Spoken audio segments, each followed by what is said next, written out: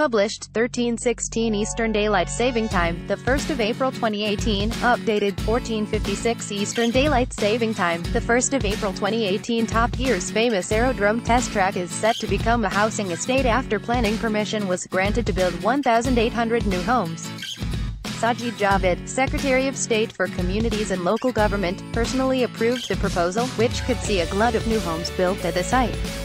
Shops, schools and churches could also be built on Clarkson, Hammond and May's stomping ground, which has hosted the BBC motoring show since Jeremy Clarkson and Andy Wilman revitalized the format in 2002. Top Gear's famous aerodrome test track is set to become a housing estate after planning permission was granted to build 1,800 new homes. The aerodrome, in Dunsfold, Surrey, could become known as Dunsfold Park if the building goes ahead pictured, Matt LeBlanc and the Stigby Aerodrome, in Dunsfold, Surrey, could become known as Dunsfold Park if the building goes ahead.